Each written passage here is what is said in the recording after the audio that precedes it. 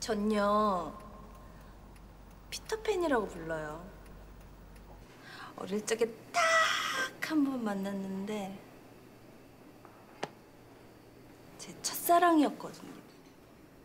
커서도 다시 만났는데